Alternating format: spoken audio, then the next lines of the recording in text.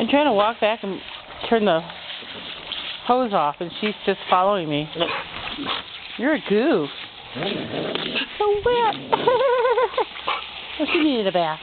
You needed a bath. Of course, you know, there's no soap involved, but you needed a bath. Oh, there you go. Okay, let me turn this off, baby doll.